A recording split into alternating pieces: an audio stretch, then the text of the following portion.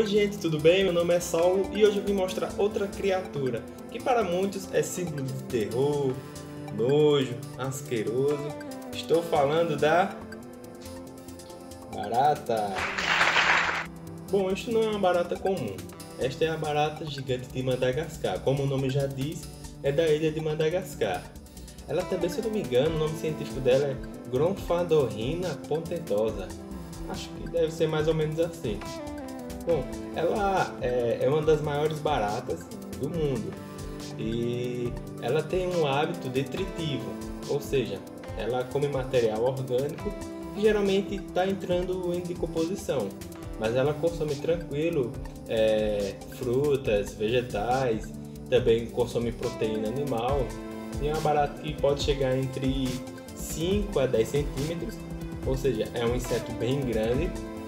E ela tem um temperamento muito interessante. É uma barata. Deixa eu mostrar.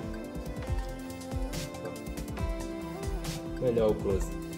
É, é uma barata que não possui asas, ou seja, um dos terrores é a barata ter asa, né? Porque quando a pessoa vai no banheiro, vê uma barata na parede, ah, é apenas uma barata. Mas quando ela voa em sua direção, aí a coisa fica séria, né? Principalmente para os que têm medo é, deste animal.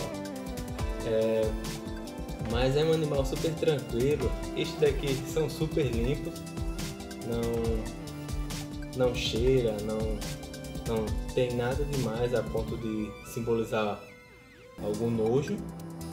É, elas quando se sentem ameaçadas, elas emitem um, um barulhinho, um chiado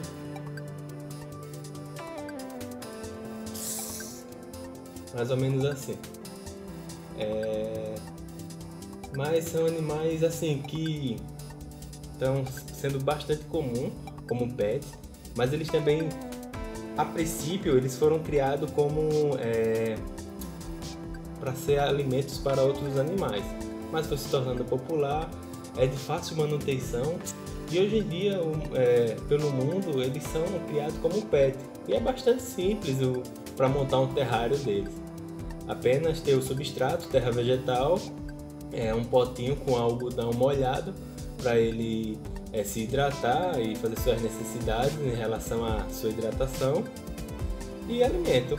Você pode oferecer frutas, vegetais em geral, pode consumir também proteína animal. É um animal de é, fácil manutenção e cada vez mais vai sendo bem popular é, sua criação como pet. Ele também é, ele pode chegar a de 2 a 5 anos e, e tem um temperamento assim bem bem tranquilão, não é como aquelas baratas caseiras que qualquer coisinha já sai correndo e você nem vê mais, sumiu. Eles são bem assim, corpulentos. São um pouco velozes, mas em comparação a em comparação à barata comum, não eles são bastante lentos. É, na verdade, existem várias espécies de barata, né? Essa é uma delas e é uma das maiores do mundo. É isso, gente. Espero que vocês tenham gostado. Foi um breve vídeo explicando, é, mostrando, na verdade, é, este belo animal. Para mim é belo. Acho incrível. É, possui esse exoesqueleto, essa carapaça, parece uma armadura. E é isso aí. Espero que vocês tenham gostado desse vídeo. E até mais.